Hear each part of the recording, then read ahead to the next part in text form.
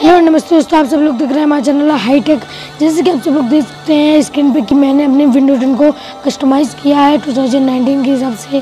तो कुछ इसमें नए फीचर्स डाले हैं, जैसे कि यहाँ पे बहुत सारे सॉफ्टवेयर मैंने यूज़ किया है। तो जितने भी सॉफ्टवेयर का लिंक और वॉलपेपर है, वो सारे लिंक मैंने डिस्क्रिप्शन में दे दिया है, वहाँ से आप डाउनलोड कर सकते हैं।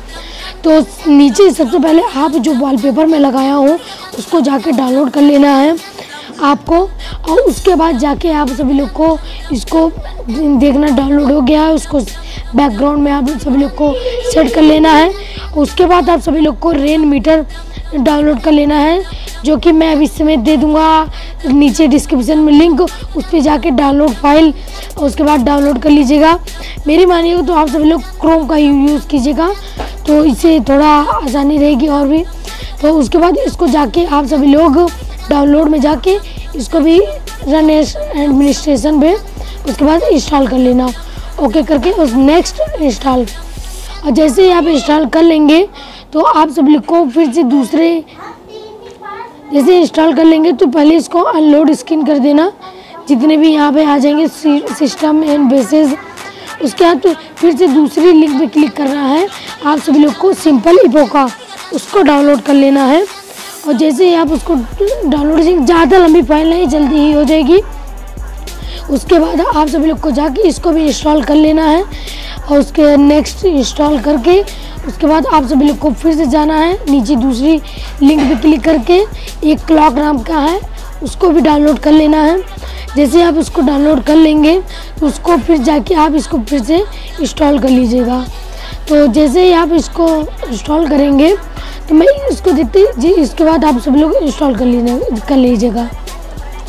जैसे ही आप इंस्टॉल कर लेंगे तो सबसे पहले आप जाइएगा अपने उसमें, भी जाके व्यूज़ पे सो डेस्कटॉप व्यूज़ जितने भी आइकन है, सारे आप सबको हाइड कर देना। उसके बाद जाके आपको नीचे रेन मीटर ऑन करना है।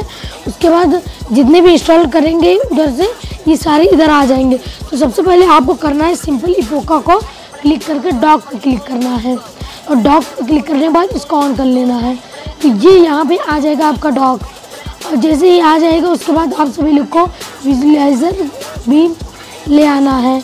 और उसके बाद आप सभी लोग को यहाँ पे कुछ और भी चीज़ें, जैसे कि क्लॉक भी ले आइएगा। और जो आप सभी लोग को चाहिए, उसको ले आइएगा। तो ऐसे ही करके उसके बाद अपने हिसाब से इसको सेटिंग पे रख लीजिएगा। तो इसको मैं टास्क बार की आप सेटिंग बता देता हूँ।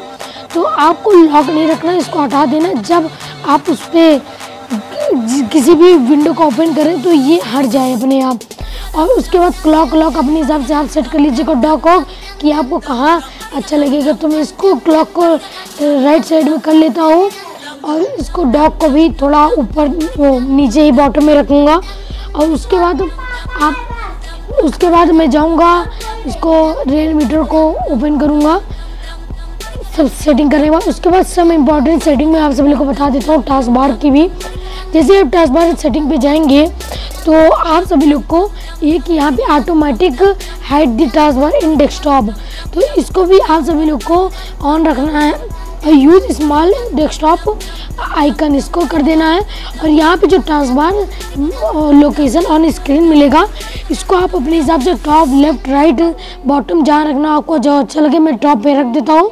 उसके बाद इसका कलर मैं चेंज कर देता हूँ। मैं पर्पल ब्लैक साइडो किया हूँ। उसके बाद जितनी भी सेटिंग मैंने बताई, ये सब कर लीजिएगा। उसके बाद कार्टोन कार्ट कार्टोना का मैं हाइड कर देता हूँ। और अगर आपको ज़रूरत हो तो आप रखिएगा, नहीं तो आप भी हाइड कर दीजिएगा।